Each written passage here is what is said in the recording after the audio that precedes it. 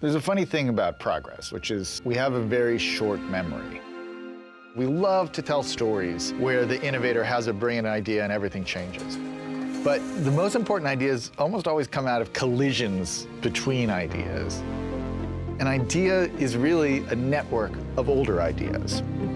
So what we're trying to do in the business world, anytime a, a, big new foundational technology comes along, is to figure out what are the adjacent possibilities that have been opened up by this new technology.